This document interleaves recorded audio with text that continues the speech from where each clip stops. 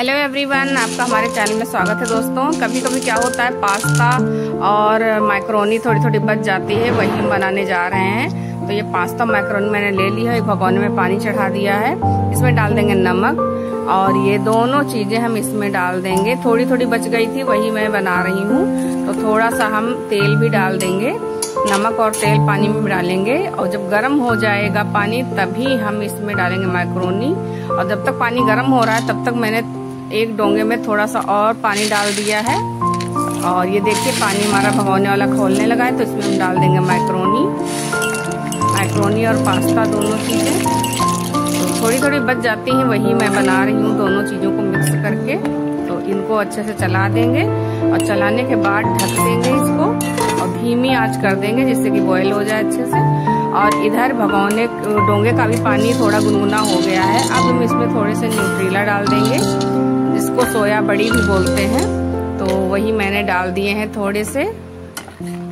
एक डेढ़ मुट्ठी भर के तो इसको हम चला देंगे और थोड़ा ढक के रख देंगे। गुनगुना पानी करेंगे, खोलाएँगे नहीं। अब हमने ले लिया है टमाटर और प्याज, इसको मिक्सर जार में डालकर पीस लेंगे। बारीक पीस लिया है, देख सकते हैं आप लोग।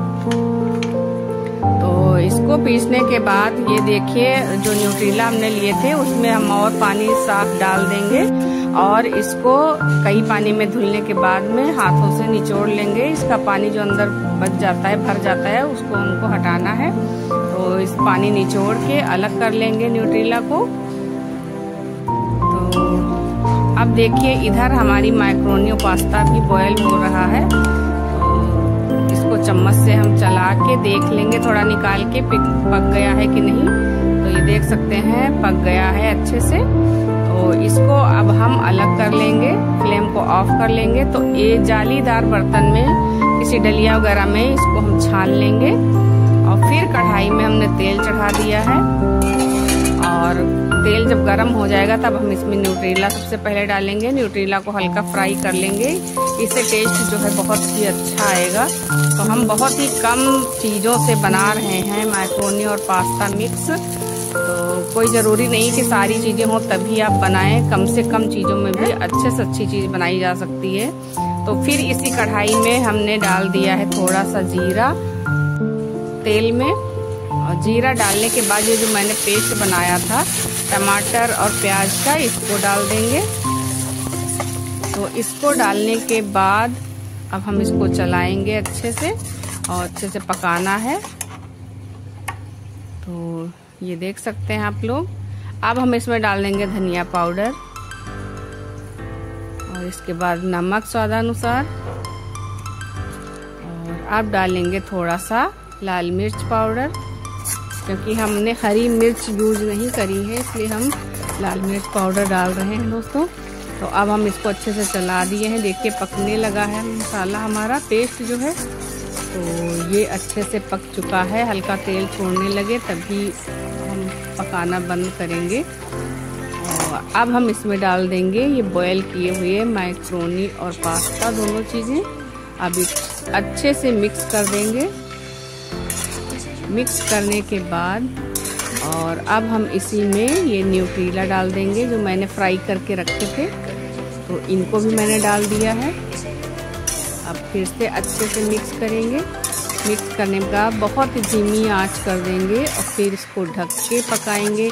फिर चलाएँगे, फिर ढक के पकाएँगे। ऐसे दो तीन बार हम प्रोसेस करेंगे। तो ये जो मसाले हैं, जो पेस्ट बनाया था तो ये अच्छे से इसमें मिक्स हो जाएगा माइक्रोनी में पास्ता में। बहुत ही टेस्टी ऐसे बनेंगी। तो देखिए, बहुत ही कम चीज़ें हमने यूज़ करी हैं। तो अब हमने ढक दिया है, थोड़ी देर इसको पकाएँगे और फिर चला लेंगे। तो फिर चलाने के बाद अब हमने फिर ढक दिया था, फिर चलाया था, ऐसे ही हमने दो तीन बार किया था। अब हम डाल देंगे धनिया। हरी धनिया डाल दी है।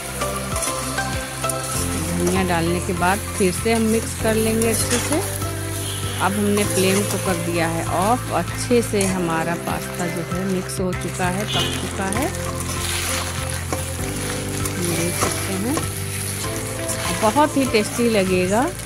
आप लोग ऐसे ट्राई करिएगा ज़रूर। अगर कोई चीज़ नहीं है, जैसे ज़्यादा चीज़ें, तब भी आप लोग बहुत ही टेस्टी बना सकते हैं। तो अब हम सर्व कर रहे हैं। इसको चाय के साथ हम लोग इंजॉय कर रहे हैं। और हम सर्व कर देंगे गर्म गर्म। तो ये देख सकते हैं आप लोग, हमने सर्व कर दिया है सभी के लिए। और अब हम डाल देंगे सॉस तो या तो आप टोमेटो केचप डाल सकते हैं, जो भी सॉस आपको पसंद हो डाल सकते हैं। तो वीडियो पसंद आई हो तो लाइक करिएगा। Thank you